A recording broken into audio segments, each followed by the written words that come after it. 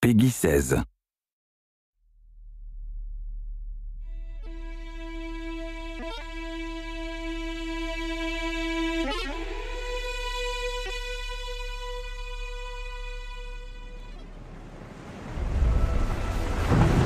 A friend once said, The memory of a single man's a fortress, more complex than the vastest of cities.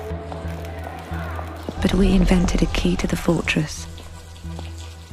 A son's first words, a mother's last words, a lover's kiss, a father's deception. There are no secrets anymore. And if remixing a single memory can change a man's life, then changing a single man could remix the world. That was my job until someone did it to me.